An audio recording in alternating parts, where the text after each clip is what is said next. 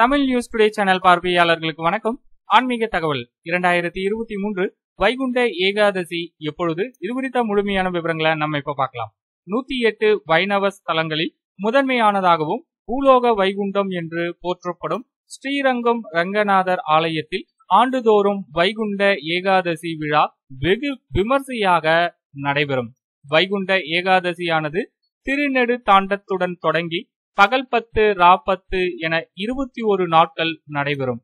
December இருபத்தி இரண்டாம் தேதி அன்று தொடங்கும் இந்த திருவிழாவினை அடுத்து டிசம்பர் இருபத்தி மூன்றாம் தேதி முதல் பகல் பத்து உற்சவம் தொடங்கி பகல் பத்து உற்சவம் தொடங்கி நடைபெறுவதுடன் பகல் பத்து உற்சவத்தின் இறுதி நிகழ்வாக வரும் ஜனவரி ஒன்றாம் தேதி மோகினி அலங்காரமும் இதற்கு அடுத்து முக்கிய திருவிழாவான சொர்க்கவாசல் எனப்படும் பரமபத வாசல் திறப்பு வரும் ஜனவரி இரண்டாம் தேதி திங்கட்கிழமை மார்கழி மாதம் பதினெட்டாம் தேதி அதிகாலை நான்கு நாற்பத்தி ஐந்து மணிக்கு நடைபெற உள்ளது. இந்த தகவலை உங்களுடைய நண்பர்களுக்கும் தெரியப்படுத்துங்க. நன்றி வணக்கம்.